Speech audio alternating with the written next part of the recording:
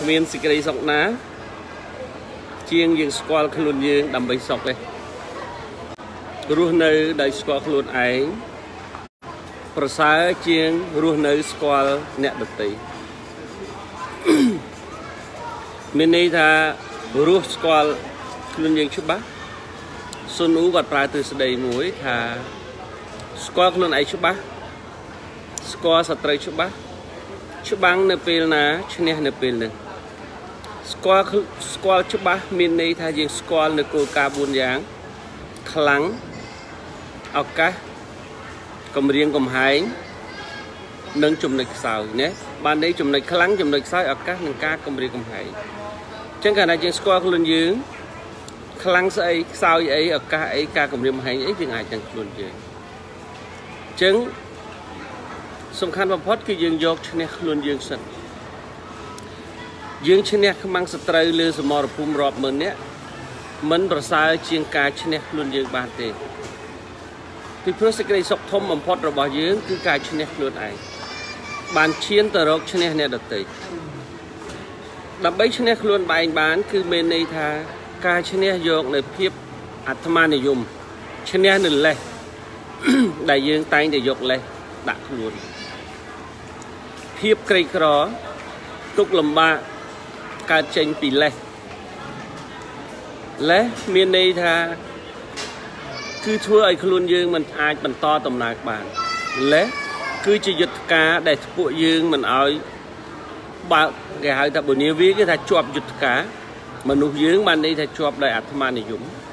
ជាប់ដោយភាពអំនួតជាប់ដោយភាពក្លេខ្លាចជាប់នៃការអស់សង្ឃឹមចឹងមានន័យថាធ្វើម៉េចដើម្បីឲ្យយើងឈ្នះខ្លួនយើងបាន ការឈ្នះខ្លួនយើងនេះមានការលំបាកលំបាកតែមែនទែនពីព្រោះខ្លួនយើងជាមនុស្សកើតមកណាកើតចាស់ឈឺស្លាប់ចឹងវាលវត្តសង្សារកាលណាវាកើតមកកើតចាស់ឈឺស្លាប់ចឹងដើម្បីជំនះយកការចាស់កើតចាស់ឈឺស្លាប់តើយើងទៅធ្វើម៉េចចឹងឥឡូវម៉ោងនេះខ្ញុំនៅញ៉ាំការ៉េមនៅ Switzen Swinson បាទ Swinson ណានៅ Aeon 2ឆ្ងាញ់មានបាយតណើបមានអីចឹងណាណាឆ្ងាញ់ណាជួយ share មួយមួយដើម្បីឲ្យមកហូបហើយការ៉េមនៅ Aeon 2ផងបងប្អូនអញ្ចឹងនៅក្នុងជីវិតរស់នៅរបស់យើងម្នាក់ម្នាក់យើងត្រូវមុនគេទាំងអស់យើងត្រូវស្គាល់ខ្លួនយើងឲ្យច្បាស់តើយើងជានរណាធ្វើអី ធ្វើដោយរបៀបណាណា what to do how to do it មានន័យថាយើងចាប់ផ្ដើម self development គេហៅថាគឺអភិវឌ្ឍខ្លួនយើងការអភិវឌ្ឍខ្លួនយើងគឺចេញពីខ្លួនយើងទៅត្រូវសិក្សាខ្លួនយើងឲ្យច្បាស់ថាយើងខ្លាំងអីខ្សោយអីចំណុចខ្លាំងរបស់យើងមានន័យថាសិក្សាបើយើងមិនឈានដល់ការសិក្សាចំណុច4យ៉ាងក៏យើងសិក្សាតែគោលការណ៍2យ៉ាងក៏បានដែរ គុណសម្បត្តិនិងគុណវិបត្តិរបស់យើងគុណសម្បត្តិរបស់យើង មានន័យថាគឺជាសមត្ថភាពអំពើល្អនិងអ្វីអ្វីដែលយើងអាចធ្វើបានគុណវិបត្តិគឺជាការចាប់ខឹងខ្មាស់អៀនភ័យខ្លាចសុទ្ធតែសុទ្ធតែគុណវិបត្តិទាំងអស់ណាគុណវិបត្តិកំណាញ់អីទាំងអស់ហ្នឹងយើងត្រូវសិក្សាខ្លួនយើងជាងអ្វីទាំងអស់យើងត្រូវដឹងមានតែយើងទេដែលអាចដឹងពីខ្លួនយើង ដំណើរវែងឆ្ងាយចេញពីជំហានដំបូងអាគារដែលខ្ពស់ចេញពីឥដ្ឋម្ដុំអញ្ចឹងយើងធ្វើម៉េចដើម្បីយើងបន្តទៅដល់ចំណុចដែលយើងអាចជួយអញ្ចឹងការជំនះយកខ្លួនឯងមិនមែនរឿងស្រួលទេគឺមានការលំបាកណាស់នៅពេលដែលយើងកាន់ទឹកមកផ្តិលនៅនឹងដៃហើយយើងរត់ យើងដើរយ៉ាងលឿនមិនកន្លោះយើងរត់កាន់តែឆ្ងាយមិនកន្លោះមានន័យថាយើងគ្រប់គ្រងខ្លួនយើងដល់កម្រិតកំពូលនៃការបញ្ជាអារម្មណ៍យើងបានប៉ុន្តែសួរតែណាធ្វើបានណាសួរតែណាអាចធ្វើបានអត់មានទេណាអត់មានទេអញ្ចឹងថ្ងៃនេះនៅថ្ងៃស្អែកតើយើងធ្វើអីឥឡូវថ្ងៃនេះញ៉ាំការ៉េមសិនមកញ៉ាំការ៉េមមួយខ្ញុំហ៎បាទនេះ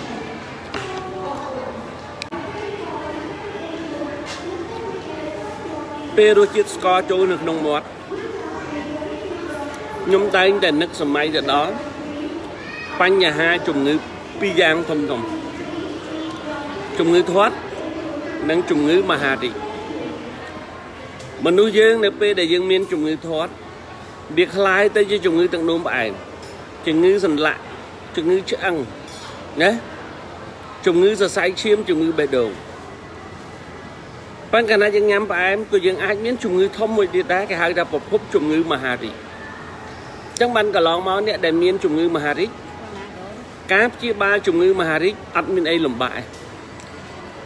គឺចាប់ផ្ដើមបន្ថយការទទួលទានស្ករមកសូន្យសូន្យកុំញ៉ាំជាតិស្ករ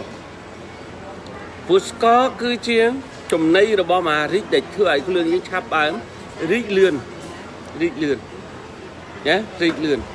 ចឹងអ្វីទាំងអស់គ្រប់បែបយ៉ាងមុននឹងញ៉ាំគឺយើងត្រូវគិតដែរគិតអីគេមនុស្សយើងត្រូវគិតដល់បញ្ហាសុខភាពជាទ្រព្យ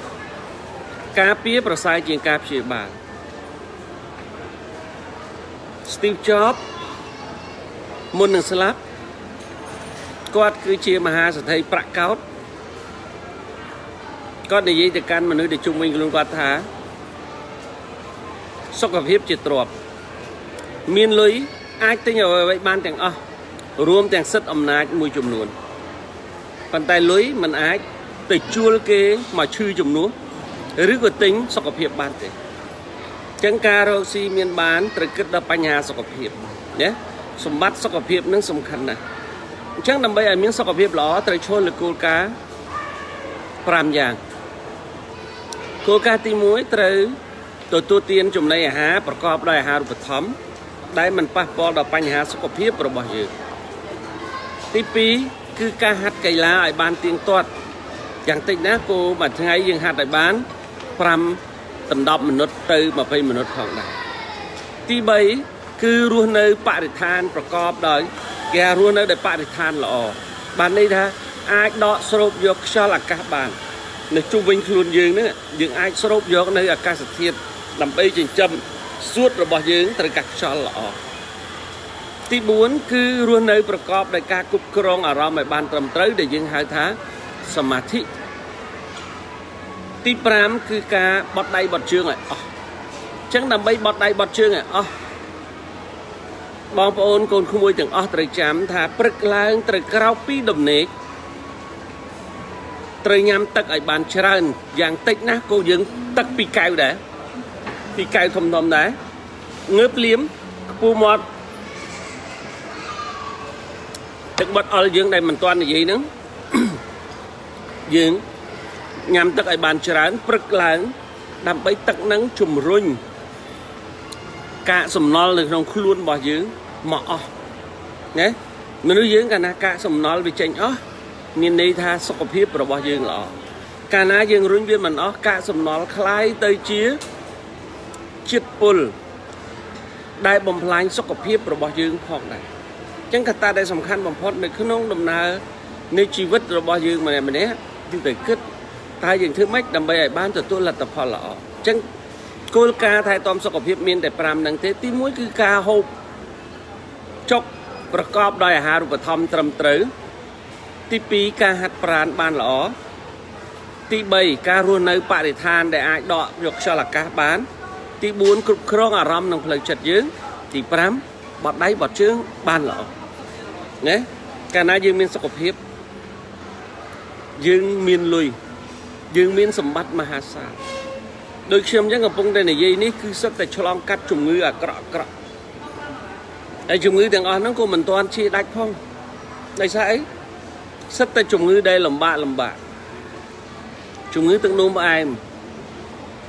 ជំងឺមហារីកថ្លើមប៉ុន្តែឥឡូវវាបាត់អស់ហើយខ្សោយអង្គតិកជំងឺធាត់ប៉ុន្តែឥឡូវនេះគោគីឡូលែងសូវធាត់ដែរប៉ុន្តែបើញ៉ាំអញ្ចឹងរាល់ថ្ងៃអាចធាត់ដោយសារសារធាតុផ្អែមហើយកណាធាត់យើងដឹងហើយជំងឺច្រើនកើតឡើងទឹកនោមផ្អែមលើសឈាមបេះដូងឈឺសន្លាក់ហើយកណាយើងកើតទឹកនោមផ្អែមវាកើតអីទៀតល្ងិតភ្នែកដាច់សរសៃជាបេះដូងអាលៀកសន្លាក់ ខូចលំពេងណាចឹងសិតតែរឿងរ៉ាវដែលយើងលំបាកលំបាកទាំងអស់តែធ្វើម៉េចដើម្បីឲ្យសុខភាពរបស់យើងបានល្អចឹងគោលការណ៍5អាចធ្វើឲ្យយើងមានសុខភាពល្អណាការទទួលទានត្រឹមត្រូវការរស់នៅកប់ដោយបរិស្ថានល្អការហាត់ប្រាណជឿទេមិនជឿតើឲ្យលុយចឹងអ្វីៗទាំងអស់គឺយើងជាអ្នកសម្រេចដោយខ្លួនយើង ចឹងសូមអរគុណច្រើនបណ្ដឹងចោះចាំពីក្រោយយើងជួបគ្នាទៀត